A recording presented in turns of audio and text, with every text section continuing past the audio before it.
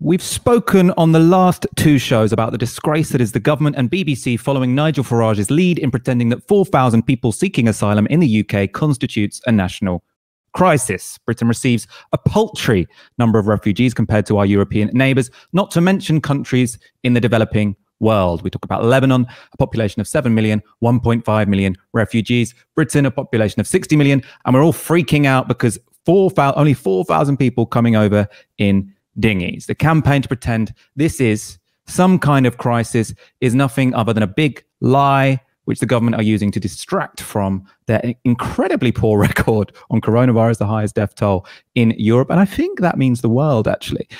And the deepest recession in the G7, which we're going to talk about next. Um, but I suppose one of the things that's particularly upsetting, I suppose, when it comes to the discourse on migration is that there's very little pushback against this. So, as we spoke about on Monday, all of the major channels are now doing live footage of people coming over in dinghies as if this is some sort of what, entertainment show, reality TV, not really going into the backgrounds of anyone there, but looking at it as, as some kind of sport.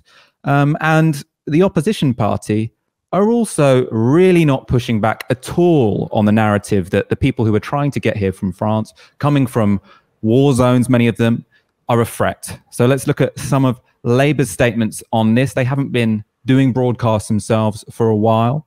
Um, but yesterday, Sienna Rodgers at Labour List got a statement from the Shadow Immigration Minister, Holly Lynch. So, asked for comment on migrant boat crossings, Labour's shadow immigration minister, Holly Lynch, said the immigration minister's emergency visit today to France today shows the lack of grip and competence shown by the government on this issue. Today, they have announced a new comprehensive action plan, but have failed to reveal what that involves or when it will be enacted. We're calling on the government to urgently provide the detail and reveal why it has taken them this long to make any progress on a solution. This line was, I suppose, backed up this morning by Deputy Leader of the party, Angela Rayner. She tweeted, The UK has been tipped into the largest recession on record. We have the largest death rate of coronavirus in Europe. We have the Chancellor saying eat out, help out, the PM saying cut back on eating too much, immigration ministers getting our borders muddled up. So here it's being presented that alongside what are genuine failures of the government, yeah, the failure to control coronavirus, and because they spent so long sort of twiddling their fingers while the virus was running through our population, ending up having such a deep recession, they are genuine failures of this government. It's not really a failure of this government that they're letting some desperate people cross the channel to come to this country. I say letting, I mean, they, they haven't yet prevented it happening.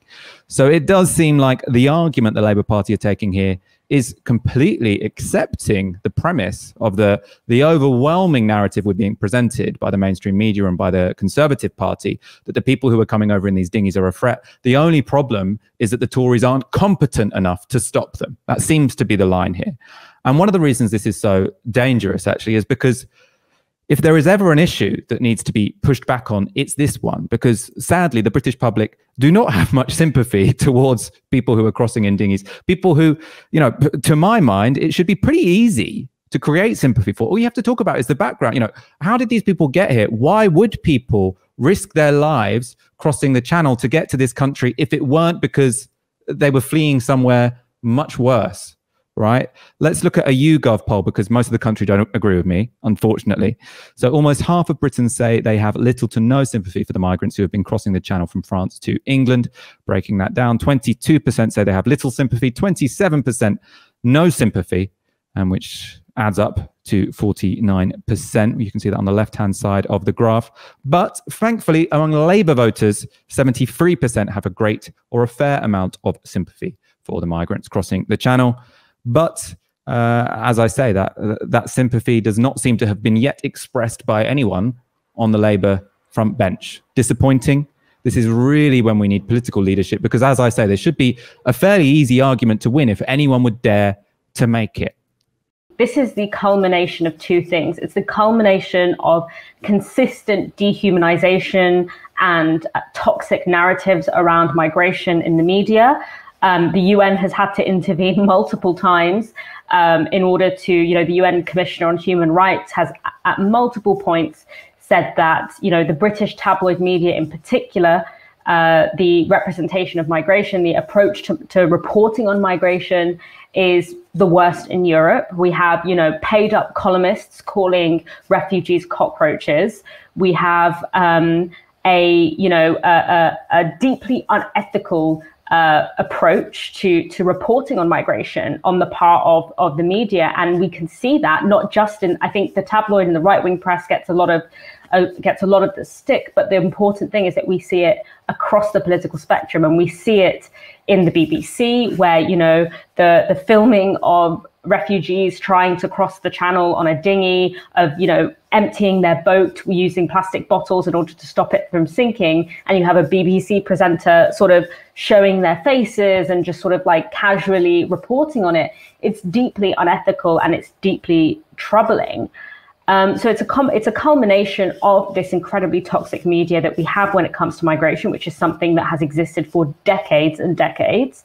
Um, something that you know we often talk about the Windrush uh, generation as people who obviously um, are examples of quote unquote good migrants, but at the time that when that the Windrush generation came to this country, they were frequently the subject of incredibly toxic representation by the media. They were frequently made the scapegoats for all of Britain's problems by the media. It's also the culmination of the complete failure um, for any kind of counter counter narrative. And unfortunately, we are seeing this happening right now in the portrayal of this as simply um, mismanagement or ineffective management rather than a massive violation of human rights. Um, and I think also what worries me is what's going to come next. You know, at times, and I think I might have said this last last week or maybe the week before, but when the state feels that it is in a precarious position, it's being seen as weak, it's maybe not doing so well electorally, it's not being able to um, get the handles on a crisis, it will often recourse to the realm of race um, and migration and sort of stoking up hatred against um, the ra- racialized minorities and migrants in order to portray itself as strong.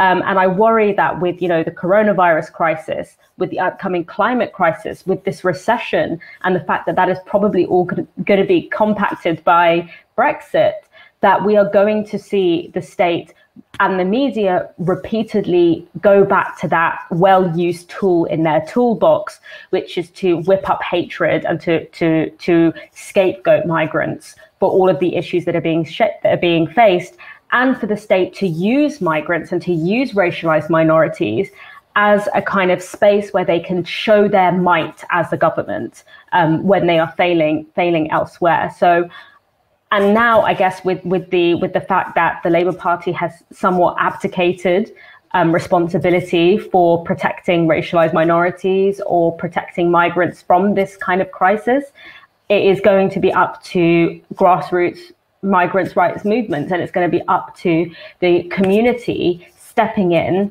to draw the boundaries of what around what can and cannot happen to those in our communities that come from migrant backgrounds or are migrants themselves.